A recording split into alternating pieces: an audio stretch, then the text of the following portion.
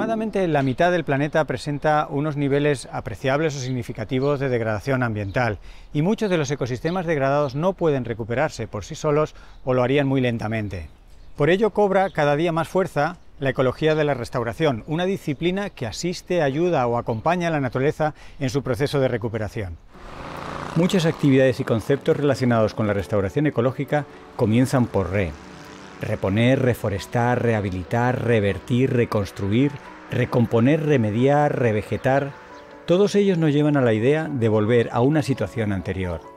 Unos conceptos ponen énfasis en la estructura, otros en la función y otros en las especies con las que se realiza la actuación.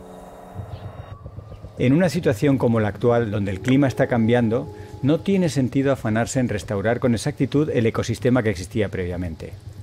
Muchas veces ese ecosistema ya no es posible o quedará pronto bajo un clima demasiado cálido, demasiado seco para mantenerse por sí mismo.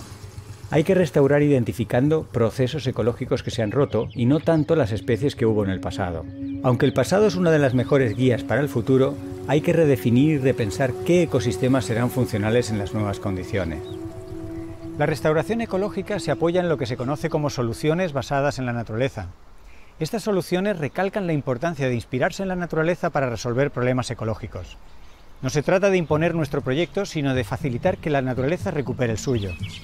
La dificultad de restaurar un determinado lugar depende del nivel de degradación sufrido.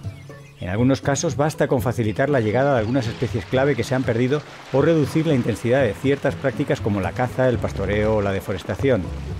En otras zonas no hay más remedio que volver a restablecer el ecosistema prácticamente de cero, empezando por recuperar la fertilidad del suelo y fijando sumideros para que no se pierdan los recursos.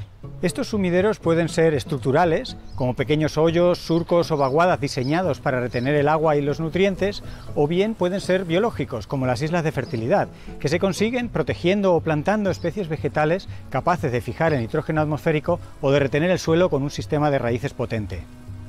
Hay proyectos de restauración ecológica que tienen unas dimensiones colosales, como los programas de reforestación en China. Este país ha recuperado desde principios del siglo una media de 50.000 kilómetros cuadrados de cubierta forestal cada año. Una sequía extrema en la cuenca del río Amarillo en 1997 y fuertes inundaciones un año después a lo largo del Yangtze provocaron miles de muertes y cuantiosas pérdidas. Estos y otros desastres ocurridos durante la década de los 90 hicieron a China tomar conciencia de las consecuencias de la tremenda deforestación del país, que había alcanzado el 86% de toda su superficie. Otro proyecto a gran escala que tiene grandes dosis de inspiración y motivación es el de la Gran Muralla Verde, que se está generando al sur del desierto del Sáhara para detener su avance. La idea es reforestar una zona de unos 15 kilómetros de ancho y casi 8.000 kilómetros de largo, que cruza de este a oeste el continente africano. Esta reforestación colosal está inspirada en el cinturón verde del Premio Nobel de la Paz de 2004, Wangari Maathai, una keniata que cambiaría su país natal para siempre. Dunas que se libran de los paseos marítimos y recuperan su dinamismo. Humedales a los que vuelve el agua y las aves. Mares que recuperan predadores y transparencia son algunos de los muchos ejemplos que hace posible una restauración que se enfoca en el origen de los problemas, que aborda las causas últimas de la degradación ecológica. Toda acción de restauración ecológica conlleva unos gastos de ejecución. Sin embargo, todos los recursos puestos para recuperar una naturaleza disfuncional no debemos verlos como gastos, sino como inversiones. De hecho, la restauración ecológica está entre las inversiones no solo más necesarias, sino también más rentables.